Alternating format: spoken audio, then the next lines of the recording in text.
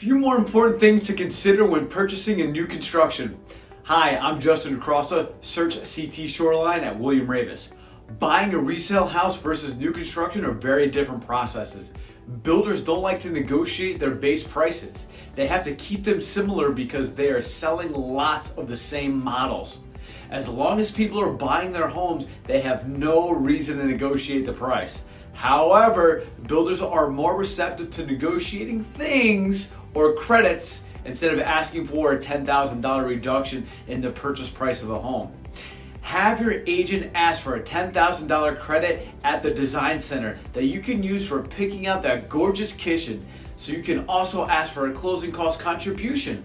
Not every builder is going to give you credits.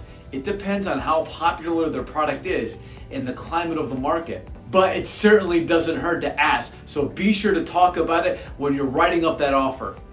Closing costs. Every builder is different, but no matter which one you go with, pay very close very close attention to the closing costs. Many large builders push all the closing costs except for the real estate fees and a few others over to the buyer side. This could be thousands and thousands of dollars extra at the closing cost table.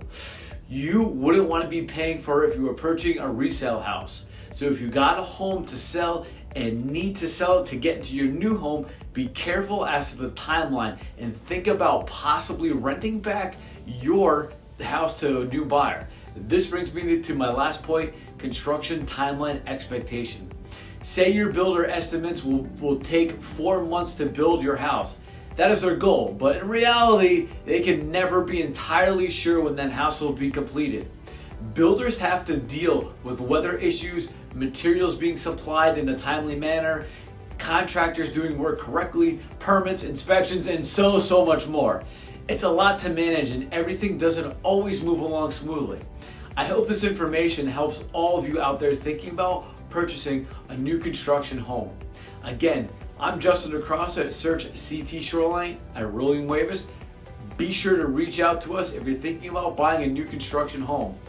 Don't forget that agent at the office, there's always someone to protect and negotiate on behalf of the seller and you want someone in your corner to do it as well. It doesn't cost you any more money and most likely may end up actually paying more money without the proper representation.